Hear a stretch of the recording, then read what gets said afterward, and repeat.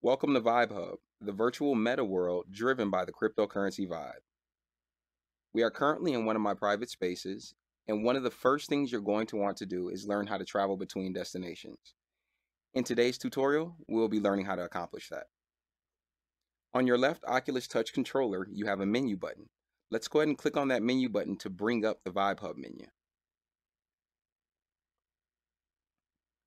The next thing we want to do is hover over the word destination with our gaze, and then on the with the right controller, we want to click the A button. Now that we see the destinations available, once you pick the one you'd like to go to, just hover over it with the gaze, and we're going to press that A button again to go to that location. Wow, this feels amazing.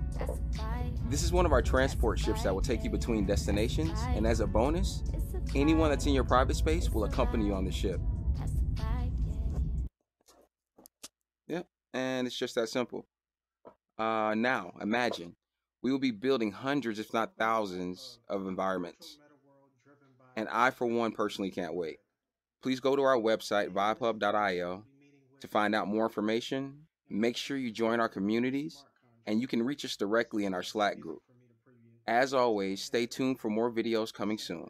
Now tell me, can you feel the vibe yet?